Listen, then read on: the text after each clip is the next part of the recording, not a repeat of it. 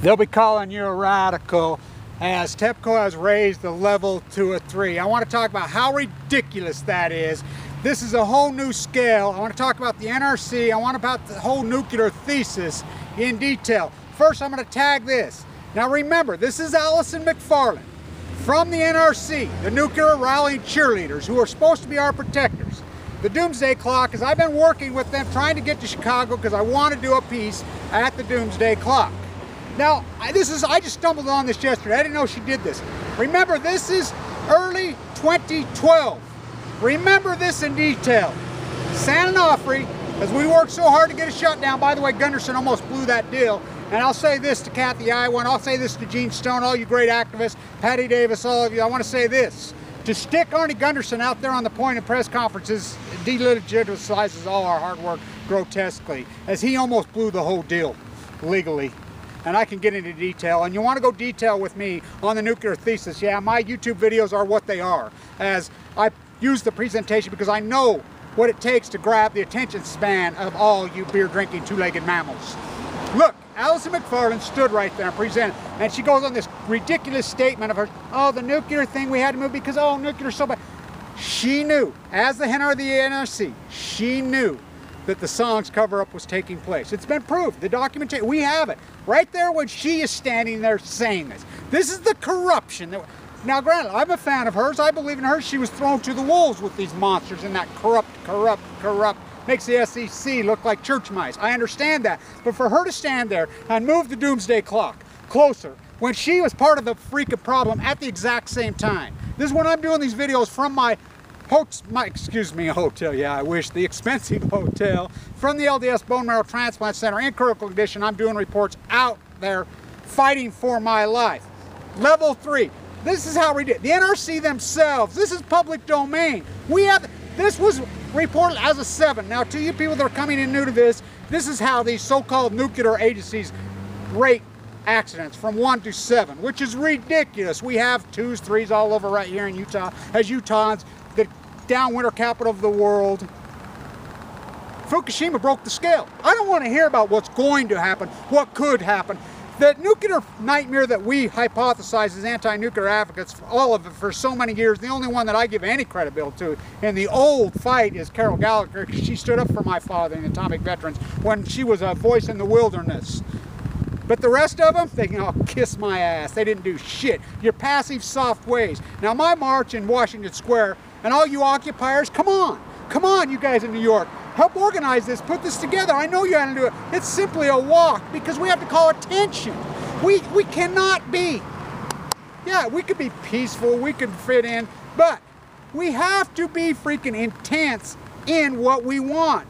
You cannot take on these issues without being extremely educated about the issue. That was the problem. You can't take on social equality, the shirtwaist fires on that sacred sidewalks that we'll walk on with not understanding usury laws, with not understanding antitrust laws, with not understanding Alex Hamilton's thesis that founded, not understanding freaking tariffs. If you don't understand labor issues, how can you fight them? Social inequalities. It's the same with nuclear. Look, fact. I want people to understand this. As cancer has rose in a direct correlation with nuclear fallout across the world. Direct. It is absolutely direct correlated. AML, when it attacks the cell processing system in your body, you don't just get cancer and then, oh, you suck. I'm going to the unit tomorrow for my test. It's been 77 days. I know that I'm at a very vulnerable time. It's going to be a big day for me. Anybody that wants to go, you go in there, I'll give you an education so fast it'll make your head spin off.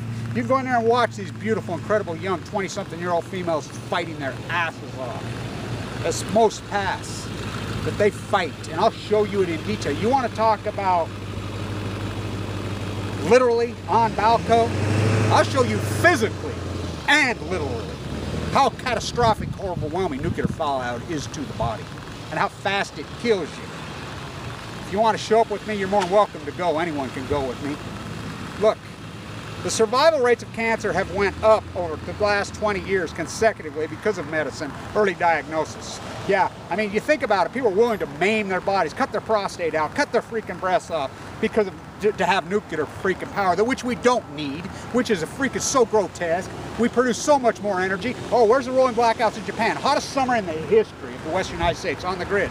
No blackouts. It's a lie. It's a fallacy. It's a lie. It's a cash cow. It is nothing but propaganda. As Chernobyl showed us the greatest cover-up in the history of mankind. Well, it's been trumped by Fukushima. And I want to say this to the marine biologists up and down California. We could prove this. We could, there was a marine biologist at Berkeley in their air and water monitoring thesis.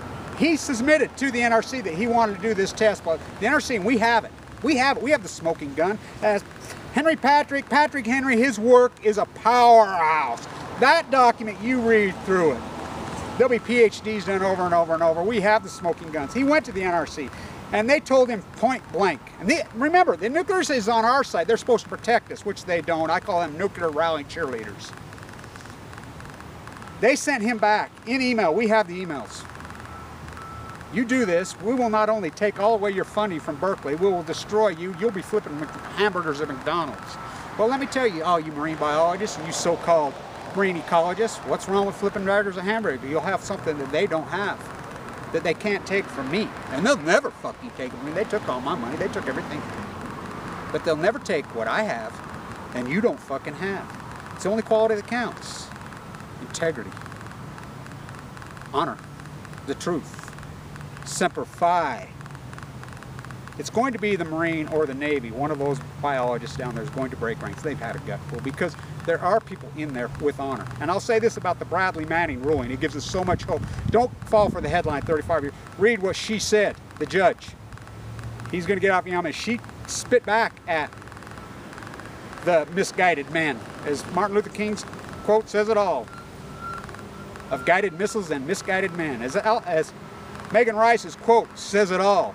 Nuclearism, I gladly, we, her and Michael and Greg give their lives we gladly give our lives to heal this planet. This is direct correlation. For Fukushima to come out and say, oh, it's a three on a scale one, with the scale system is a joke anyway. Fukushima is the greatest ecological disaster that ever happened to this country on Balco by many thousands of fucking times. As horrible as Chernobyl, and Chernobyl is an evil mass, mass murder. People can scoff at my numbers at 40 million. They're conservative. They can scoff. And remember this, nuclear fallout in Utah, all you autism, I'm autistic. Nuclear fallout is directly correlated with autism. Nuclear fallout is directly correlated with multiple sclerosis. Nuclear fallout is directly correlated with birth defects. Nuclear fallout is directly correlated with asthma. Nuclear fallout is directly correlated with all cancers, especially AML. The cancer survival rate for the first time in 20 some years peaked and is going the other way. As my doctor says it, as so many doctors says it, she says it beautifully up in Seattle. These cancers are becoming more aggressive and more fast, and so the treatment doesn't work. We actually have a shortage of chemotherapy. There are people on waiting lists for chemotherapy right now post Fukushima. Not only that, we rely on blood transfusions, massive, massive blood transfusions, massive blood shortages all over the country because there are so many people in freaking units right now trying to fight their ass off to say, and all you people say, oh, smoke a little bit of weed and these chronic, nuclear fallout, these type of cancers, AML, these leukemia, it's not chronic. These are evil heart, they, you can be perfectly healthy one day, mow you down dead so fast, make your head spin off. And if you don't believe me, come on with me. We'll go for a walk. I'll take you on a field trip to East Aids. That incredible, incredible place. You want to see this literally?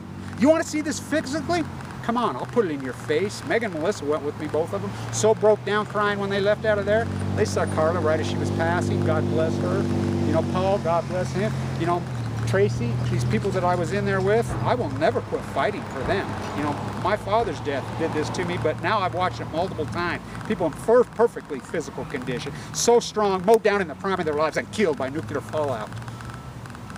This is so grotesque what the American, and CNN, you grotesque. I'm going to tag this and I want you people, everybody to read it. I will tag this. This is CNN's Sanjay Gupta, MD, his show on the two weeks after he was over there. He Remember, he was over there. He was over there. This is a neurosurgeon. This is what makes this so grotesque. They got a lot of nerve posting anything today. CNN is the evil of the evil. Oh, are they Uncle Tom? Oh, are they Uncle Tom? And I'll say this, I found out today that Joseph Biden's son has cancer.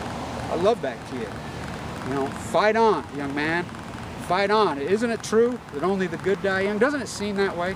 None of these evil creep lying propagandists. Hmm. Maybe there's a lot to that. Martin Luther King spoke of that a lot. I think he made a lot of sense. Stay on tune it.